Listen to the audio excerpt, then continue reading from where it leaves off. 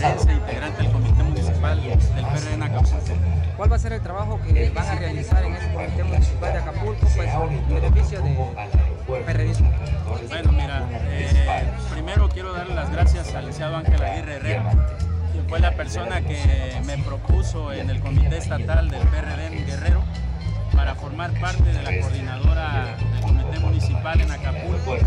Y bueno, el trabajo que vamos a hacer pues es eh, sumar a muchos hombres y mujeres del puerto de Acapulco que están esperando la afiliación y esa va a ser la principal tarea en este momento, aparte de bueno, estructurar a este partido para que sea fuerte eh, rumbo al 2015. Señores, bueno, este trabajo va a ser difícil,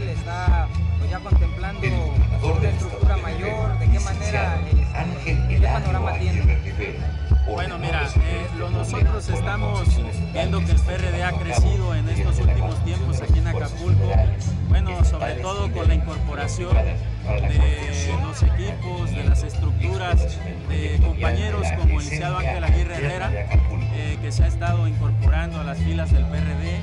Hemos visto afiliación importante en sus estructuras hacia este partido político.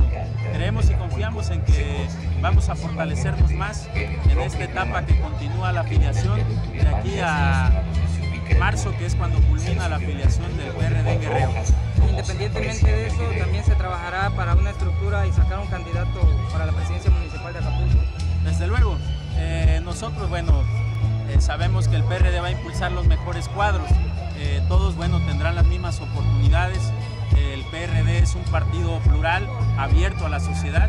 Y bueno, hoy tenemos definitivamente muchos hombres y mujeres muy valiosos aquí en el puerto de Acapulco que seguramente buscarán los cargos de elección popular.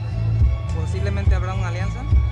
Eh, en este momento, bueno, no sería prematuro, ¿no? Lo que sí vemos es que el PRD se ha estado fortaleciendo en Acapulco y tiene todas las condiciones para salir adelante. En cuanto a la CAFUDEC, este, este grupo que usted dirige, eh, ¿cómo va a fortalecer el, pues, este ya plan estratégico que contempla la, la, las, las, alcaldías y los demás procesos electorales en Guerrero? Bueno, el trabajo lo hemos estado haciendo desde hace rato. Eh, en, en, este momento llevamos un amplio margen de trabajo en la base del partido, eh, gente de la sociedad civil y aún los que no son de este partido les hemos abierto las puertas, hemos trabajado de la mano junto con ellos. ¿Alguna invitación para la sociedad civil? Sí, desde luego invitar a todos los ciudadanos eh, que simpatizan con el PRD a que se afilien a nuestras filas.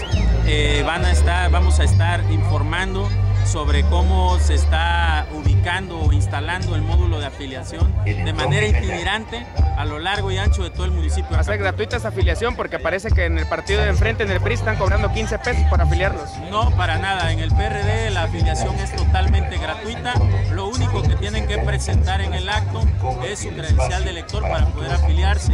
Y los que tienen 15 años, eh, de 15 años a 17, que todavía no tienen su IFE, estatutariamente en el PRD pueden afiliarse también.